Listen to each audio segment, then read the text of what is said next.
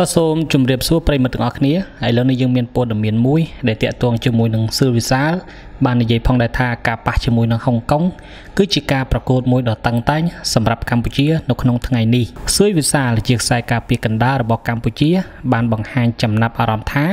នៅក្នុងថ្ងៃនេះក្នុងការជំនួបតទល់ជាមួយនឹងហុងកុងនៅវេលាម៉ោង6កន្លះក្នុងពានរង្វាន់ AFC ASEAN Cup 2023 គឺជាការប្រកួតមួយដ៏តឹងតែងសម្រាប់ក្រុមគោព្រៃកម្ពុជាសម្រាប់ការប្រកួតនៅក្នុងថ្ងៃនេះជាមួយនឹងហុងកុងគឺជាការប្រកួតដ៏តឹងតែងសម្រាប់ពួកយើងក៏ប៉ុន្តែពួកយើងនឹងស្វែងរកជ័យជំនះឲ្យបានដើម្បីឲ្យពួកយើងឡើងទៅលេងវគ្គបន្តទៀតពួកយើងសង្ឃឹមថាពួកយើងនឹងអាច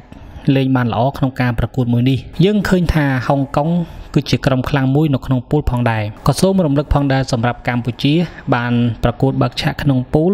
បានចាញ់ក្រុមម្ចាស់ផ្ទះដោយលទ្ធផល2ទល់នឹង0ខណៈដែលហុងកុងវិញគេបានយកឈ្នះទៅលើក្រុមអាហ្គានីស្ថានដោយលទ្ធផល2ទល់នឹង1ក្នុងការប្រកួតបើកឆាកសម្រាប់ពួកគេផងដែរបាទសូមអរគុណ